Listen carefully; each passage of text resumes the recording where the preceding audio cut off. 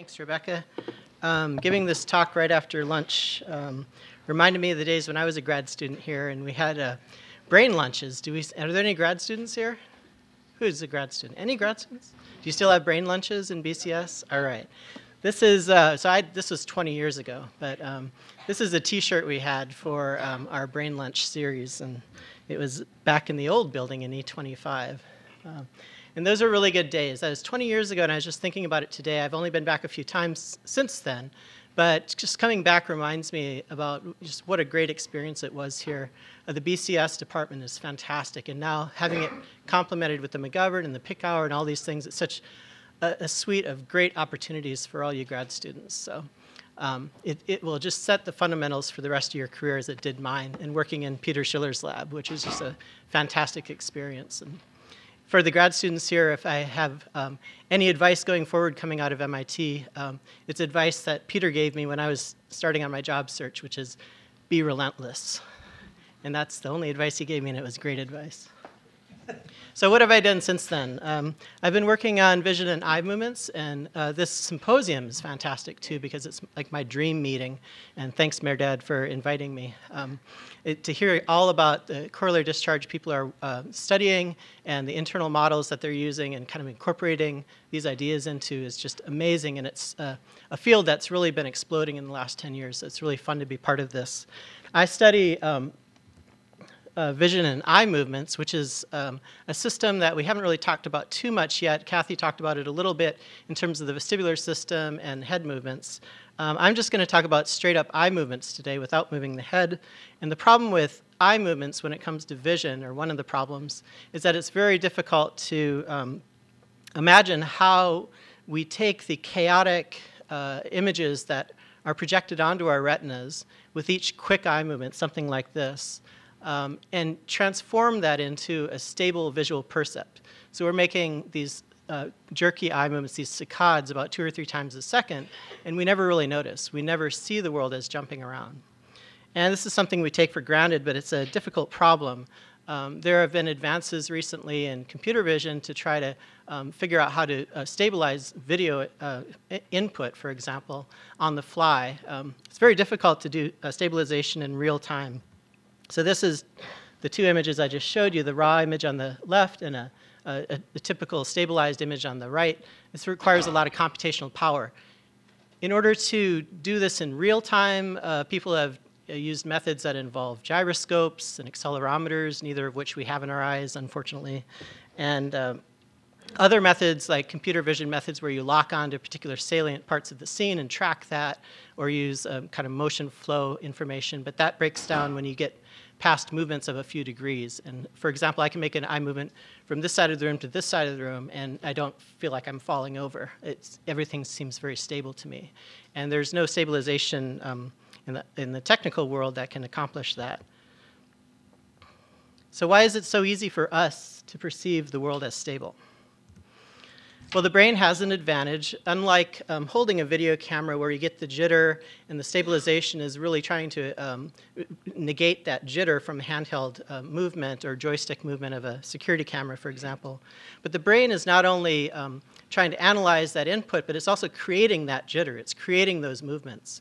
So the brain, brain has an advantage. It's generating the movements that are destabilizing the image.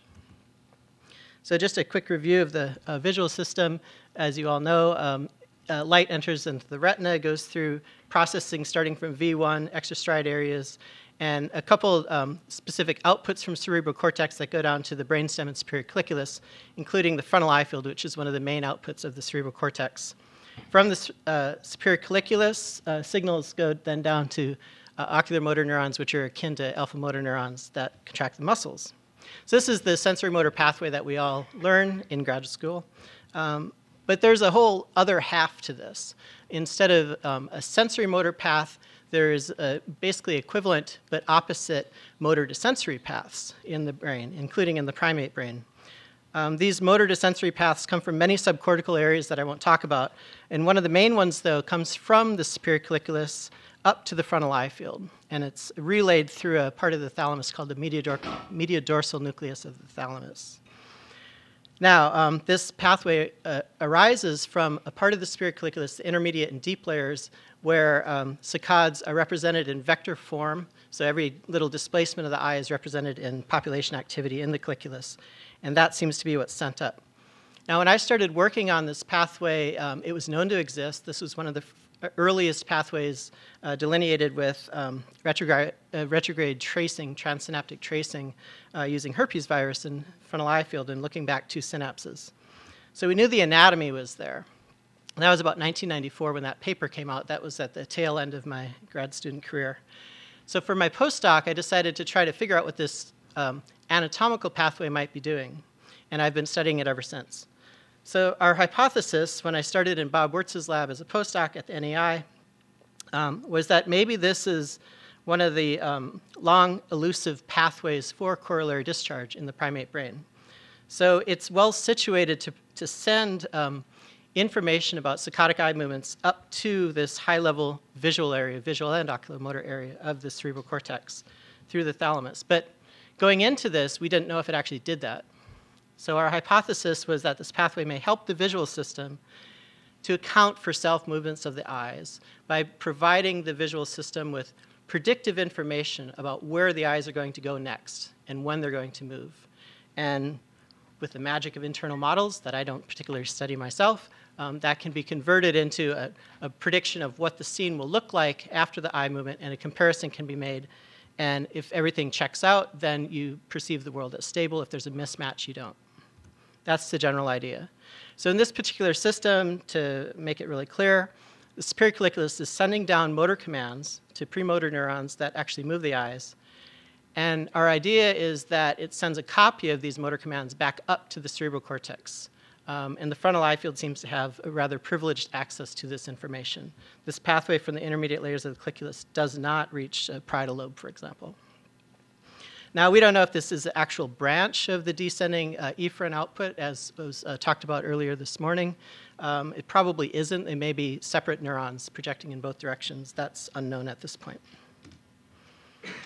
So to study this pathway, we used um, a variety of uh, classic methods uh, in awake behaving monkeys. Um, we would record from single neurons, and we could record at all three levels of this pathway, at the source, at the relay, and at the target. Um, but every neuron that we recorded from was identified as being part of the pathway by combining the recordings with electrical stimulation methods. Um, and with the electrical, so we would have the uh, stimulating electrodes implanted with their tips in the intermediate layers of the colliculus or in the frontal eye field. And those are semi-chronically implanted for a couple months. And then on a daily basis, for example, we would record from medial dorsal thalamus and try to find the relay neurons. You've seen a little bit about uh, these methods this morning at, using um, antidromic activation, also orthodromic or synaptic activation. So whenever we encountered a neuron in thalamus, we would try to drive it synaptically from the colliculus, and at this, also then we'd switch over and try to drive it antidromically from the frontal eye field.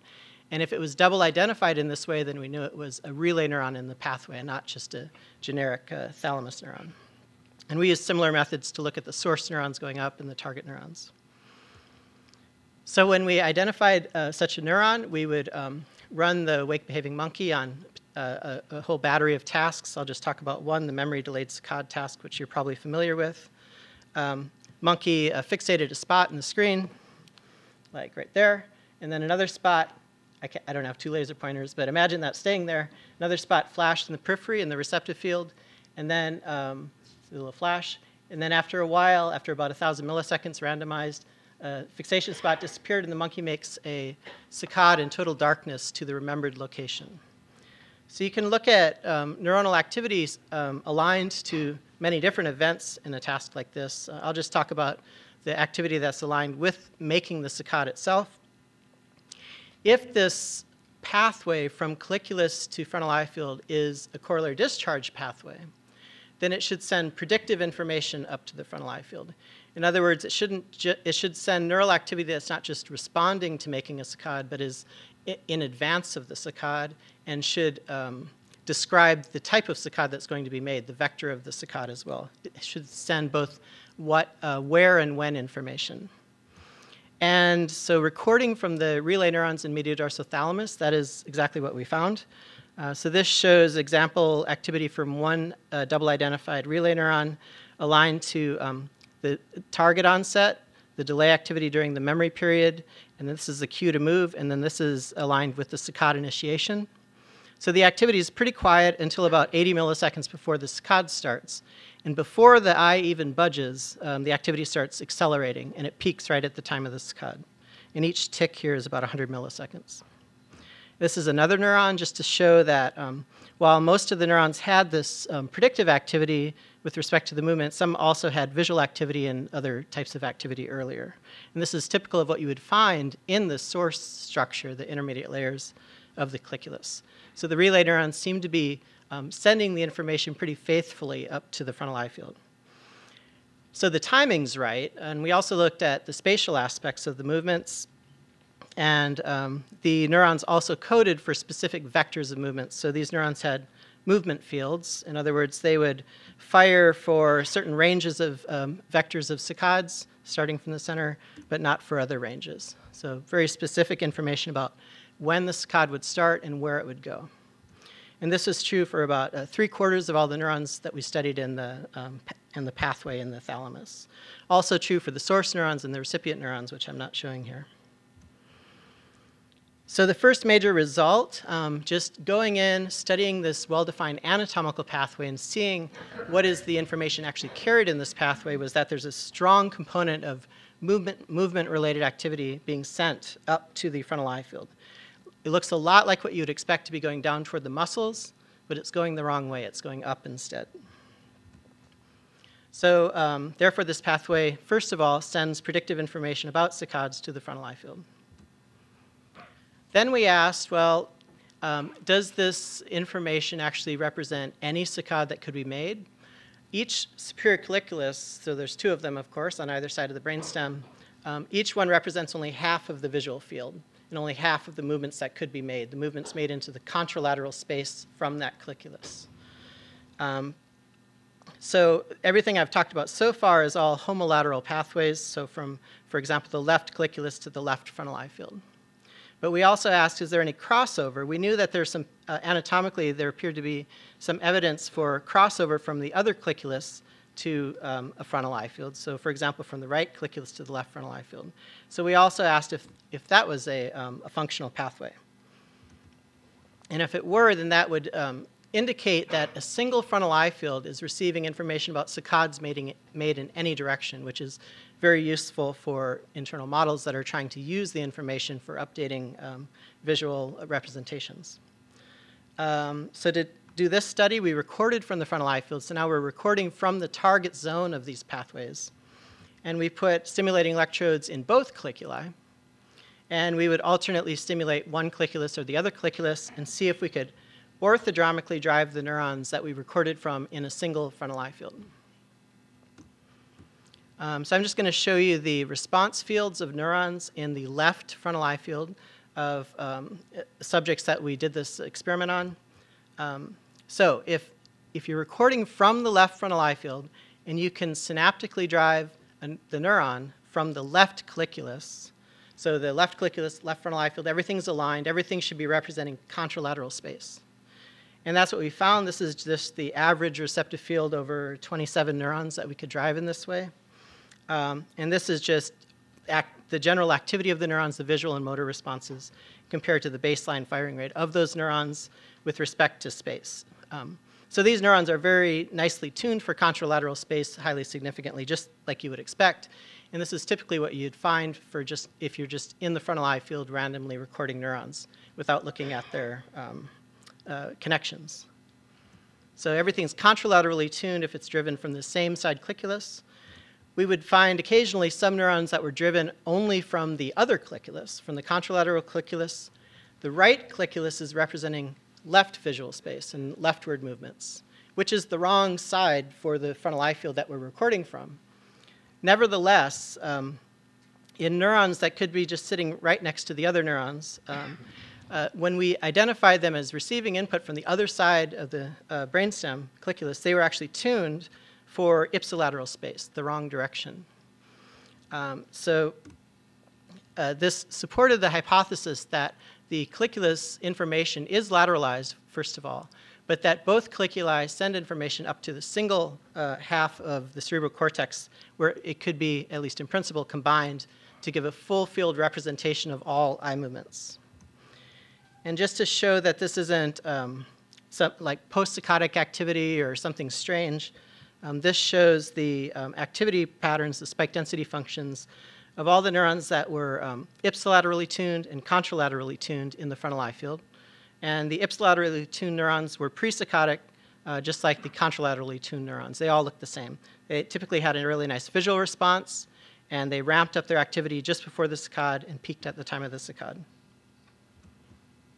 So therefore, um, this pathway sends corollary discharge or predictive information about saccades to the frontal eye field and it integrates this information bilaterally at a single frontal eye field. So this is all well and good, and this is correlational information. It shows that activity is in the pathway and that the activity is appropriate for being a corollary discharge signal. But it hasn't proved anything in terms of um, does this pathway or does this, these signals do anything. So the next step was to perform causal experiments where we uh, perturbed the pathway or manipulated it to see if um, the results would be as predicted from a corollary discharge um, function.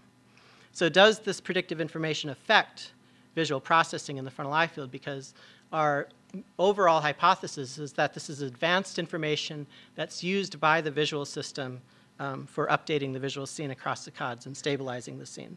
So it better at least affect visual neurons in the frontal eye field in some way. So to test that hypothesis, we um, inactivated the pathway at the relay uh, site. Um, so after mapping out the medial dorsal thalamus relay neurons in a, in a monkey, we would go in and target muscimol injections. Muscimol is a GABA agonist. It inhibits neurons for, a, it takes about 20 minutes onset and then lasts for about four or five hours. So we would inactivate the relay zone. Um, before we did the inactivation, we would isolate a neuron in the frontal eye field um, we would map out its visual properties, we would inactivate the thalamus, wait for the muscimol to take effect, and keep recording from that neuron for as long as we could to compare the visual responses afterwards to before the inactivation. Now, there are a lot of different visual properties of neurons. Um, the one that we were interested in that could be linked to an internal model idea um, is a, a, property called presaccadic remapping or shifting visual receptive fields. So you all know that many neurons in the brain have visual receptive fields, of course. And so for a typical neuron, if a monkey is fixating here, um, the monkey sees the whole scene, it perceives the whole scene, but any individual neuron typically only sees a part of the scene. That's the receptive field of the neurons, for example, the boat. And for most neurons in the visual system, probably, uh, the receptive fields just simply move with the eyes, just like retinal receptive fields would. When the eye moves, the receptive field just comes along for the ride. It's a very passive receptive field. But for other neurons in the visual system, um, the receptive fields are more active. They move actually before the eyes move. And this was discovered by Jean-René Duhamel, Carol Colby, and Mickey Goldberg in 1992. So for these neurons, um, you might have a monkey fixating here and a recording from a neuron with a receptive field over the boat. But just before the eye moves in a certain direction, there seems to be a pred predictive signal arriving at that neuron because the neuron will shift its receptive field in line with the um, upcoming eye movement. And the eye hasn't even moved yet, but the neuron becomes sensitive to stimuli in a new part of space that we call the future field. Sometimes it completely uh, uh, loses its uh, sensitivity at the receptive field, sometimes it maintains in both places. But the important thing is that it moves uh, its uh, visual sensitivity before the eye moves. Then the eye moves and catches up to it, and the future field becomes the classical receptive field again. So we know that such neurons have to be receiving corollary discharge because they um, shift their receptive fields um, in specific directions depending on the eye movement that's about to occur, and they shift those receptive fields before the eye movement actually occurs. Um, so our hypothesis is that this pathway through medial thalamus is what's providing that corollary discharge information. So our prediction would be then that um, in the intact animal, before we inject the muscimol, uh, a monkey would be fixating here, and um, the neuron may have a receptive field, let's say, up and to the right like this. And then um, corollary discharge or a predictive signal about the saccade arrives, and that's used to shift the receptive field to a new location, and the neuron now becomes sensitive to this location, the future field. So if the pathway is providing that predictive signal, then silencing the pathway should silence the predictive signal and remove the shift. So the neurons should still have their classical receptive field, but they should be unable to um, change their sensitivity just before the saccade. In order to test this, um, we used a classic um, shifting receptive field task um, that was um, published first, I think, by Nakamura and Colby in 2002. It's a very simple task. A monkey just fixates a spot, shown here, for a while, and then the spot disappears, new spot appears uh, in the position where, that we want the saccadic vector to go. And then after reaction time, the monkey makes the saccade to the new location. They do that over and over again. And on each individual trial, we flash visual probes at different places and times to test the sensitivity of the neuron. So we may flash a little visual probe that's task irrelevant, a little white probe, the monkey's not allowed to look at it. Um, either early in the fixation, when there shouldn't be a shift, should just be a, a classical receptive field, or late in the fixation, just before the eye movement, when you should expect to see maximum shift. And we flash it either at the classic receptive field or at the future field. We also uh, flash these probes at many other times and locations that I'm not going to talk about here, um, in between, near the saccadic target, and the flanks, and so forth. And that's all published um, in uh, previous work. And I'm just going to talk about these four conditions. Um, so uh, this shows typical activity of a neuron in the frontal eye field that we recorded from um, during an inactivation. The icons up here just remind you of what the task is. Um, basically just making a saccade down to the right, flashing probes at different times and places. If we flash the probe um, long before the saccade during early fixation, um, if we flashed it at the receptive field, the neuron had a, a, vigorous visual response. That's receptive field of the neuron. If we flashed it in the future field location, by definition, the neuron had no activity because this is outside of the classical receptive field of the neuron, and it's a long time until the eye movement is going to occur. If you flash the probe just before the saccade, um, and to do this, you actually flash it at random times after the cue to move because the reaction time, with the reaction time variability, you never know exactly when the saccade is going to happen. Um, but on average, for probes flashed about 70 milliseconds before the saccade, and, and they disappear before the saccade is made, so there's no smearing of the visual information on the retina or anything like that. Um, this particular neuron still had a response at the receptive field, but now uh, it was vigorously responsive for probes flashed in the future field as well, whereas before it wasn't. So this is a, a, a typical shift that you would see in the frontal eye field. Again, some of the neurons also would completely have their receptive field um, uh, activity eliminated. But for two-thirds of the neurons, I would say you get this bimodal effect. Now, um, when you so we record from a neuron, we um, uh, document its shifting receptive field, then we inactivate the pathway. And remember, our prediction is that this activity should go away, but this activity should stay. So when we retested this neuron after inactivating the pathway, uh, first of all, um, receptive field activity was still fine. The neuron didn't just go blind or anything. Um, but the future field shift um, went way down. It was never completely eliminated, um, but in this particular case, for example, it went down by almost 80% of its original uh, activity.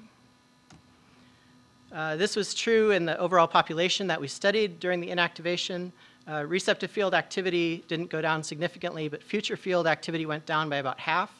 Whether you look at whether you just average all the um, uh, raw firing rates of the neurons, or if you normalize them just to look at the percent of deficit for each individual neuron, to, regardless of its um, firing rate strength. Um, so on average, there's about a 50% deficit when you inactivate this pathway. So there seem to be other pathways probably um, that are contributing as well, but this pathway seems to be, um, if not the majority, uh, at least half of the corollary discharge that these neurons are receiving. So um, we also know that this pathway does something. Uh, it influences visual processing in the frontal eye field, the specific kind of visual processing of the re presaccadic remapping or the shift. So finally, um, we, we've started to ask, well, how, do, how exactly does this happen at the level of the cerebral cortex? When the corollary discharge arrives in the frontal eye field, it's somehow combined with visual information that's arriving from extrastriate cortex. Um, both of these inputs arrive at layer four in the frontal eye field. Layer four, uh, frontal eye field has a pretty good layer four, pretty good granule layer. It tapers off as you go down into the sulcus, but in general, um, has a really nice layer four. Layer four neurons can be excitatory, they can be inhibitory, there's a whole mixture. And the question we asked next was, if you just look at those layer four neurons that are receiving the visual and the corollary discharge information, can you tell something about um, how the information is combined if you compare the signals of the neurons with their putative morphologies, whether they're putatively inhibitory neurons or excitatory neurons or things like that. We unlike in slice experiments and a, in a lot of preparations, we can't actually see the neurons that we're recording from, so we have to use other techniques to um, infer what types of neurons they are. So first of all, we um, identified neurons in layer four of the frontal eye field using, um, again, orthodromic activation from the colliculus. Um, the medial thalamus projects primarily to layer four and a little bit of deep layer three. So when we would identify neurons in the frontal eye field that could be orthodromically activated from the colliculus, um, we would then test the monkey on the shifting receptive field task and ask whether these very first neurons in the circuit um, shifted their receptive field or not. And again, these neurons have an unknown, morphology. Um, a priori, it, they could be either excitatory or inhibitory. Both types are in layer four to try to infer the morphology, we would compare the recorded neurons, the uh, layer 4 neurons, with neurons in the same structure, the same frontal eye field, with a known morphology. Um, the neurons that we could antidromically activate from the colliculus, these are all layer 5 pyramidal neurons. Um, the only neurons that in frontal eye field that project down to colliculus are large pyramidal neurons in layer 5. So to do this analysis, we would look at the action potential waveform. I think most of you are familiar with this idea. Um, for an individual neuron, you look at the waveform and you basically measure its width. Now, every paper on the subject measures width in a different way, and so we used all of them. and we combined the width measurements in a, into an aggregate index, so we call an inhibitory index. This just shows two example waveforms of a putative inhibitory neuron versus a wider, um, actually this is a known pyramidal neuron using a single width.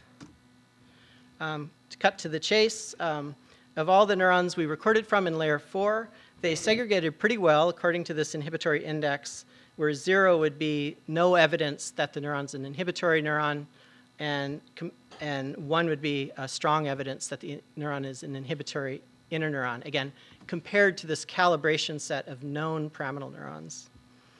Um, so we just segregated this into putative excitatory neurons, 11 of them, putative inhibitory neurons with narrower, narrower waveforms and actually higher spontaneous firing rates too. And then there were some in the middle that were not classifiable in this way. We call these ambiguous neurons, and we don't know what they are. And then we tested, as we recorded from these neurons, a monkey did the shifting receptive field task. What we discovered was that each type of neuron in layer 4 actually conveys a component of the shift. It doesn't convey, the full shift that you would see in uh, layer 5, for example. The putative excitatory neurons, um, they changed their visual response just before a saccade was made, but they changed it at the receptive field only.